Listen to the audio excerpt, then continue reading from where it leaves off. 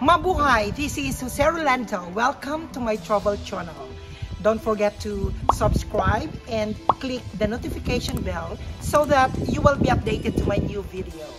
In this episode, the Po in Bangkok, Thailand.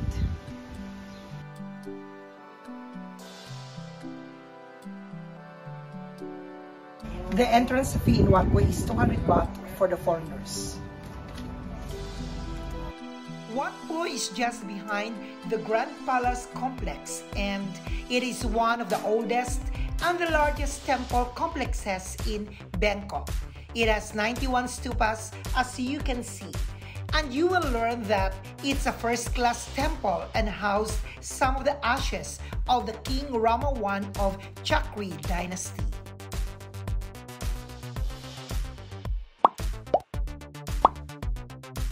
The main attraction is the largest reclining Buddha in Bangkok, a massive 46 meters long and 15 meters high. A remarkable golden plated Buddha image. The statue is said symbolizes the passing of Lord Buddha to Nirvana. The Buddha is covered by golden leaf while the soles are inlaid of mother pearl. The worshippers drop a coin to 108 bronze bowl and said it gives good luck and long life.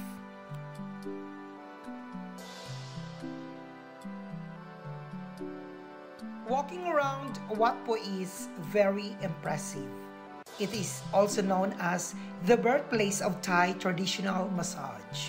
You will notice that the architectural details of the temples are blended of Chinese, Khmer, Indian, and European influence that reflects of country's rich cultural heritage.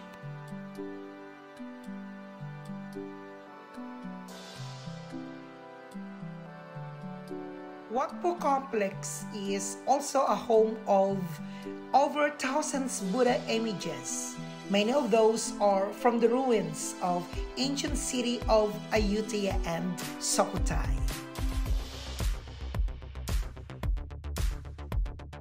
I am always as hopeful as wandering heart about my travel vlog on how to make it happen. I pay attention to the things that are critical to my happiness. Learn and be inspired because we have an amazing, empowering story to tell. Jose Rolando at 51. Virgin!